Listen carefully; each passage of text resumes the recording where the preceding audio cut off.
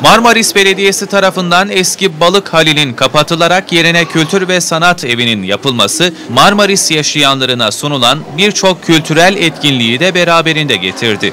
Hemen her hafta birbirinden farklı etkinliklerle adından söz ettiren Kültür ve Sanat Evi'nin bu seferki konuğu ressam Cecil Bill ve eserleri oldu.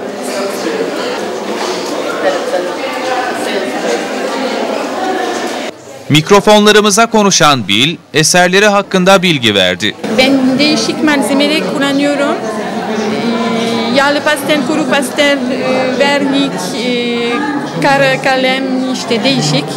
Ee, Ona göre yapıyorum. Yani benim önemli konular renk ve çizgiler. Ee, Çok renkli tablolarım var. İşte bu kadar. Heykel konusunda hem mermer yapıyorum hem e, çamur kullanıyorum. Üstünde boya e, oksitleri kullanıyorum boyatmak için.